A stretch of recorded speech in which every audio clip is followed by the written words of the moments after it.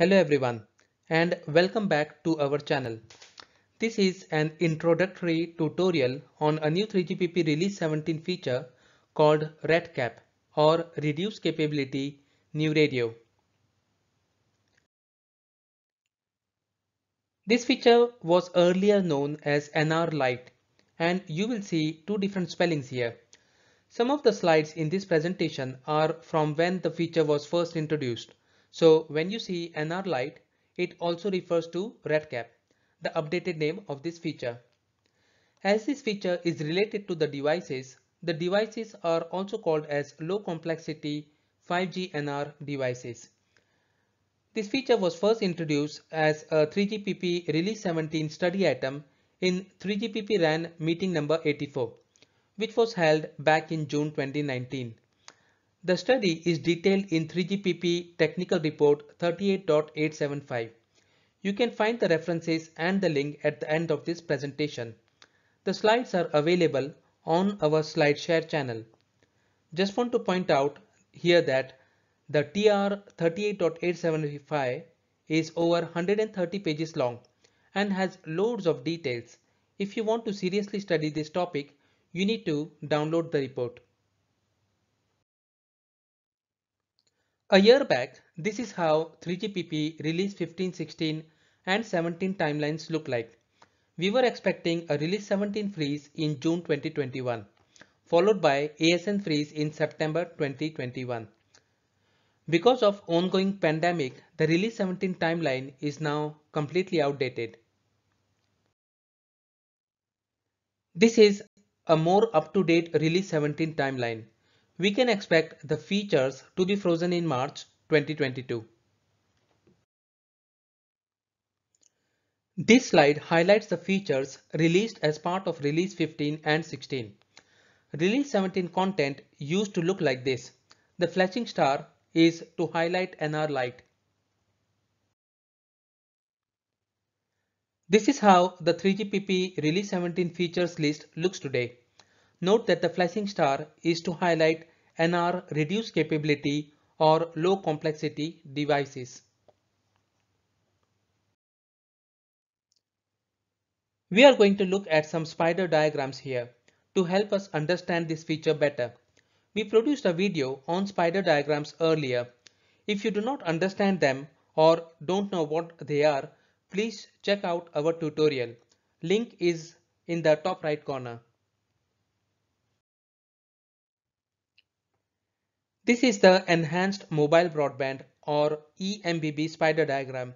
As you can see, the emphasis is on the peak data rates with a reasonable low latency and reasonable high reliability. On the other hand, for URLLC, there is a very high emphasis on low latency as well as a high reliability. We expect 5 nines reliability and the requirements from 3GPP release 16 is for 6 nines. We have a nice tutorial on this topic. See top right for the link. EMBB and URLLC devices can be considered as high-end premium UEs. We can summarize the requirement of these UEs as shown in the table here. This table is originally from the Qualcomm document whose reference is provided at the end of this presentation. As we discussed, the main difference between them is the data rates, latency and reliability. While we do not have any commercial URLLC devices in the market, smartphones and fixed wireless access devices are examples of premium 5G UEs. Moving on to the IoT part, you can see from the spider chart LTE-M and NB-IoT devices offer similar capabilities. While LTE-M is able to support higher data rates, the trade-off is that the battery life is lower and the cost is higher.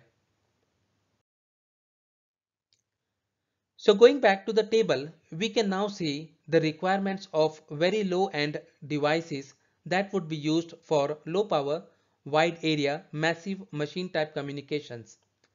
Similar to what we saw in the spider charts, the device complexity requirement is very low, which would keep the cost down and also contribute to a very long battery life. Important to note here that while coverage requirement for eMBB and URLLC is normal, the coverage requirement for IoT devices are extreme. This is mainly because in many cases, the IoT device will only transmit once. If there is no reception, the message will get lost. For reliable reception, the IoT devices do transmit with a much higher power as compared to normal cellular transmission. So here is the combined spider chart with eMBB, URLLC, LTE-M and NB-IoT. So at this point, let's look at what kind of devices are included in NR RedCap. As you can see in the slide from Qualcomm, there is a requirement for devices that fall in between eMBB, URLLC and massive machine type communications. Examples of these include wearables, sensors, cameras, relaxed IoT, etc. One can argue that eMBB devices, for example, could be serve could also serve as wearables or sensors or cameras, etc. But it doesn't make sense and this would uh, this is the void that RedCap is trying to fill in.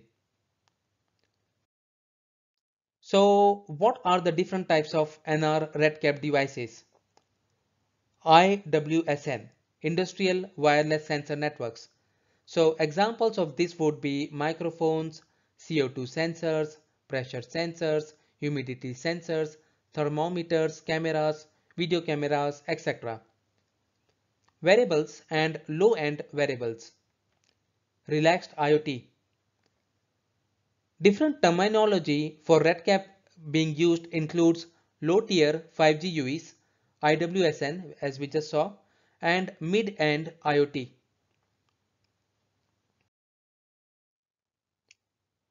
So I guess the question that many people will have here is why not use LTE instead of 5G for these kind of devices? So to preempt discussions like these, Nokia provides an answer in this slide. The main reason being there is no need to support different kind of networks, especially in the long run when some operators are going to try and move everything over to 5G. So you know we are still talking about 2028, 2030, right? But it's better to point it out here. The other being that 5G NR provides better system efficiency. It should also be noted that while 5G can work in all 4G bands, 4G cannot work in all 5G bands.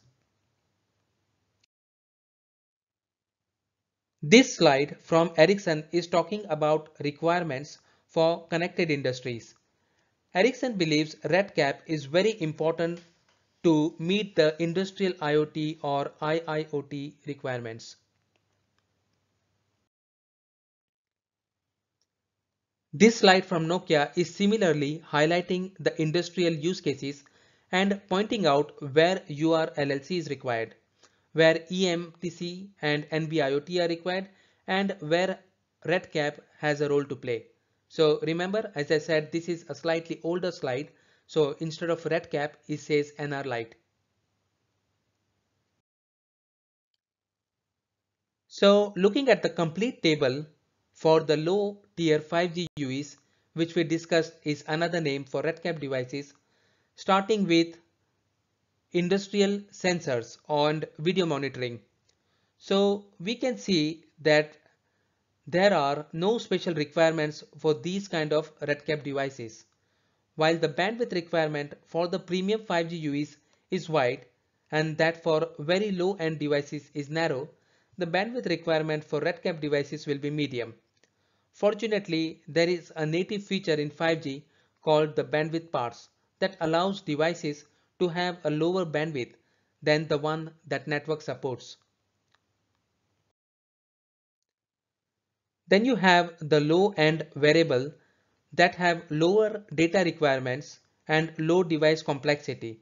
This would be mainly because these wearables require a long battery life.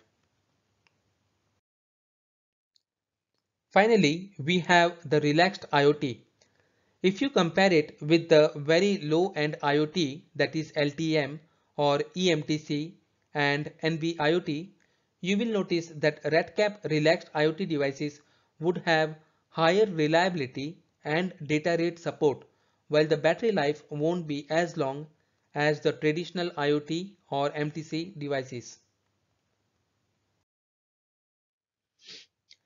So if we draw a spider diagram, RedCap devices will support a reasonably low latency and reasonable reliability. Again, a reasonable peak data rate support and no requirement for very high coverage. The devices would be reasonably low cost, but the battery life won't be as good as in the case of other LPWA devices.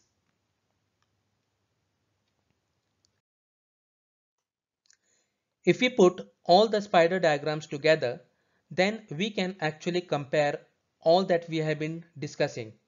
You can see the argument why the industry feels that the existing three types of devices that is the eMBB, URLLC and MMTC devices cannot meet all the 5G use cases and there is a need to introduce a category in between all these three. This item has been studied for release 17 and now we have it as part of the specifications.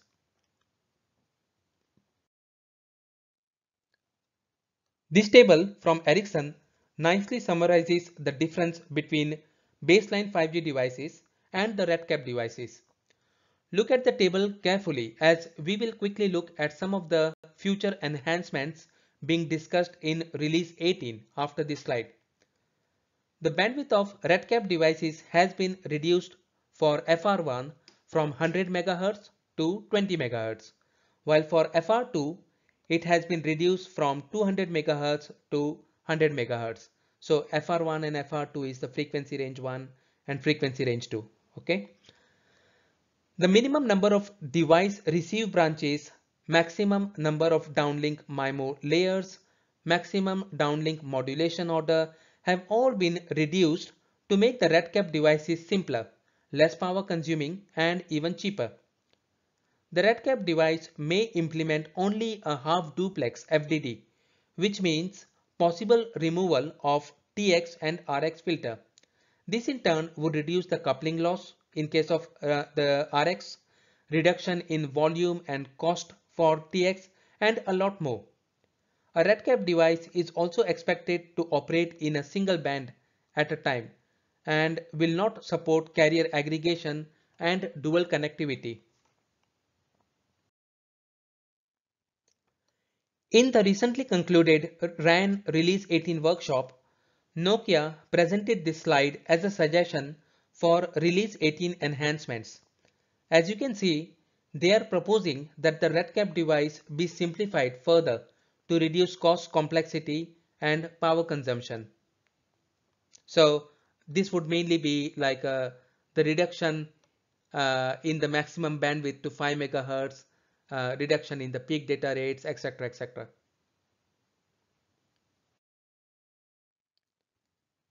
Apple, on the other hand, is proposing to make the enhanced RedCap device slightly more complex by introducing flexible bandwidth.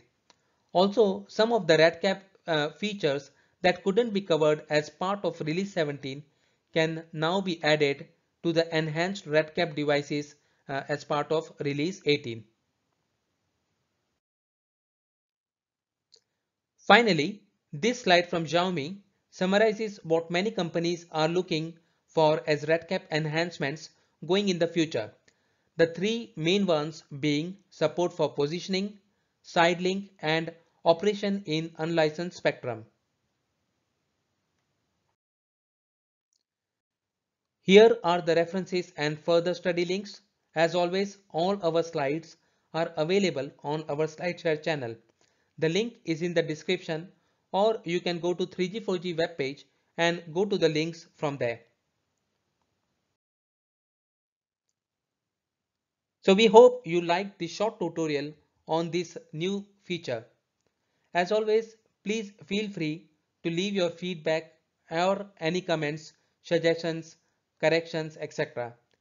Thank you and hope to see you again soon. Goodbye.